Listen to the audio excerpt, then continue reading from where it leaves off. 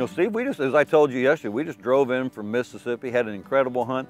And the good news is, one buck showed up. The good news is, the buck didn't leave the field, and he had his head in whitetail clover and chicory plus. We knew that he would either show up for the does, or he'd show up to feed. Didn't really make any difference.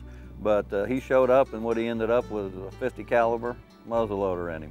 But you know, I got to thank you. You guys, uh, we've probably for a decade now have been working with Whitetail Institute of North America.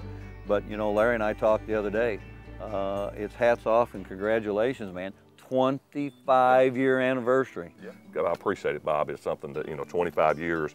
It's uh, it's kind of nice to you know to be able to make my living with something that you know behind my relationship with with Jesus Christ and my family. It's my number one passion is hunting, and I'm able to make my living in that industry. I'm a blessed man. You are. I've been able to do that for 25 years, and it's you know, and it, it, doesn't pay the light bill, but it's pretty nice when you answer the phone and there's a man on the other side of the phone that's more excited than anybody you've ever talked to. And remember specifically a call from a guy from New Jersey who called and using his New Jersey dialect. I won't tell you all the words he used. I'll clean it up a little bit.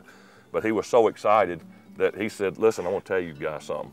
You guys are the greatest, and the reason you're the greatest is this. My dad is my hero, my best friend, and my best hunting friend partner. He just called me in all my life, I've never heard him so excited. He had gone to our farm, walked up on a couple of the food plots, and both of them had nice bucks on them.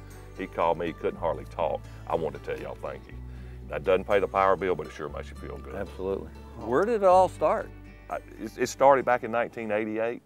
Uh, it was an idea that Ray Scott had uh, from his own personal experiences that improving on what he was planting for the deer was improving the number of deer he was seeing as well as the quality of deer he was seeing. And that was all a personal endeavor, if you will.